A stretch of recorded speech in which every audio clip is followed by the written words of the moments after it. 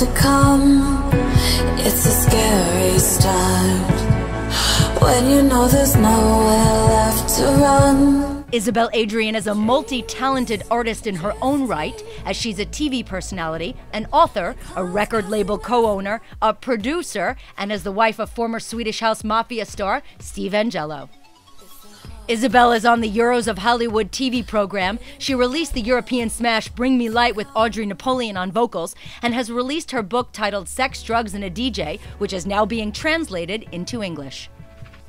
She talked about the biggest obstacle with the book and having it be loosely based on her life with Steve. Writing it. it took me five years to write the book, and there was uh, it was a process.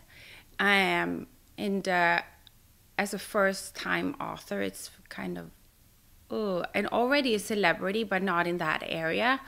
You're like, okay, if somebody's gonna rip me apart, it's now, you know. Oh, she's a celebrity. Let's know, let's give out a book. Oh, styling. No, it's not about that. And I made the characters kind of similar with me and Steve. This girl, she comes from, you know, and this guy comes from poor neighborhoods in Sweden, and he makes it as a big DJ and the, it's about the rise of electronic music in Europe, which is very fascinating and and and about this girl. But it's also about the romance and the real, you know, the stories are not mine, but they're mine to tell because they've been told to me.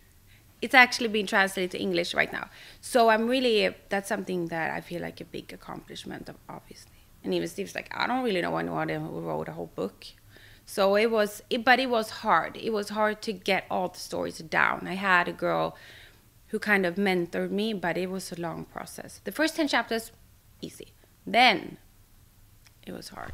We also asked her about Bring Me Light. Bring Me Light is, uh, you know, it's uh, that's the song that I, I, I wouldn't say I did it alone because I didn't but I, I wrote a soundtrack and a song and produced it with Audrey singing. Audrey Napoleon, she's also, and she's a girl and she's, you know, a DJ and she wants to make, and I really like her and she has, she has that, that I like. And she's my friend and I thought that she would be perfect. You know, she's such a contrast from me. Bring Me Light is the soundtrack for the book, but it's more about that you find a person that brings you light. But it doesn't matter if you're dark or white or everybody has two faces. Lastly, she started off in the modeling world as a teenager, and she shared what she brought from that experience to her successful endeavors moving forward. Modeling, I take with I took with me, and I still model. You know, you get taught to be in a specific way. I adapt very easily, not only with the looks, but also my appearances in my speech and you know and that made me like to go and you know meet new people and try to adapt to them and social skills. I mean i think that i'm always outside on like unknown water a little bit me and christopher columbus because when you model you have no idea what's going to come in. It's like surprise you you're not good enough you know and i'm sorry but that's just the way it is. So if you if you teach yourself, you know, like I'm good inside, and I'm just gonna take this as another challenge in life, and like, and life is a game. You can see it as, oh my God, why did I, why was I put on this earth, you know? Or you can see it that maybe I wanted to, and this is just a game that I chose or a dream that I chose. You can always see things in two different ways.